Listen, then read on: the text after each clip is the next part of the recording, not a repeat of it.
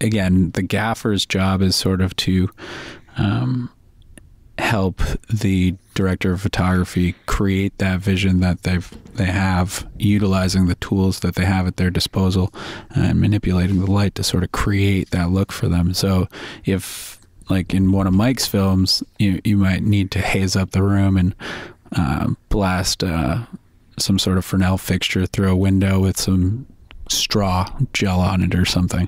Um, that might not be a typical application for that setup. Maybe people would typically use a, I don't know, an HMI for the window to mimic the sunlight or the daylight. Um, it sort of just depends on what the look is that the DP is mm -hmm. trying to achieve.